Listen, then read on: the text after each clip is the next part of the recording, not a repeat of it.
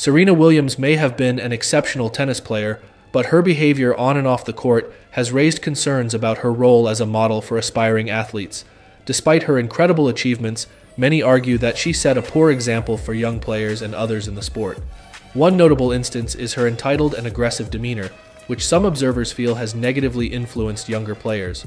This mentality appears to have manifested in 20 year old American Coco Gauff. While Gauff has shown remarkable talent and potential, her conduct, at times, mirrors the less desirable traits associated with Williams. Aside from Jessica Pegula, the entire female Olympic tennis team has been criticized for their poor sportsmanship and perceived disgrace to the American flag.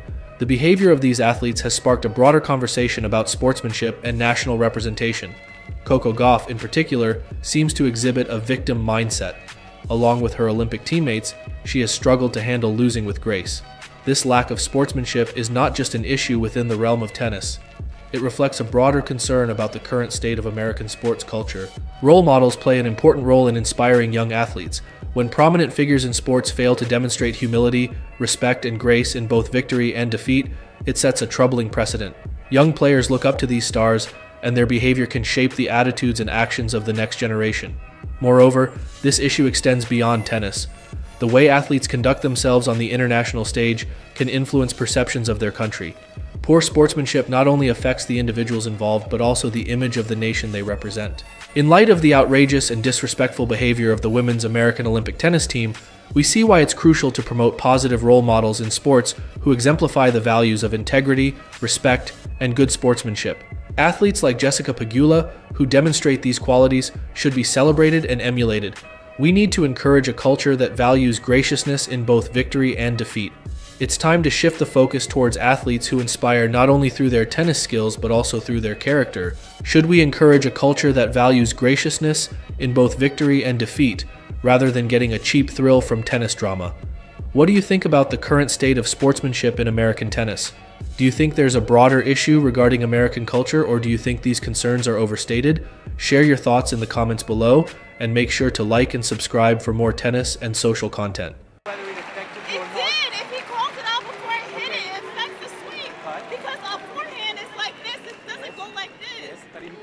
I was going back to hit the ball. The ball, he called it out before I hit it. But you understand that I have to take a decision, and in this case, But you I'm- have to be sure. You can't I say am 100% sure. No, you're I'm- not. You just said maybe I'm wrong. It's well, not. based on your reaction, I, I might be wrong. But I have to take the I decision. never argue these calls, but he called it out before I hit the ball. I understand, Coco. The temperature rising, the passions flowing over. Coco Gauff standing her ground.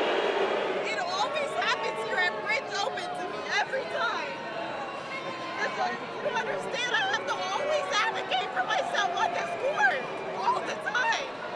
You guys are supposed to. Yes, this isn't fair. You don't understand. This isn't fair. This is the third time it happened to me in Dubai. It happened to me here, and both times I was right. I never argue calls, and you know this. But this isn't fair. This isn't fair. I feel like I'm getting cheated on constantly in this game. I constantly feel like that, and I have to argue. No, because I do. And then you guys apologize afterwards, and you guys say, I'm sorry. And then what does that do for me in the match? It's not fair. Well, Coco Gauff looking for fairness. You guys are not fair to me, and I hope one day that the game becomes fair, but it's not. Well, I hope that will be echoed, I'm certain, as the boos ring around the arena. Donna Vekic has no part to play in this.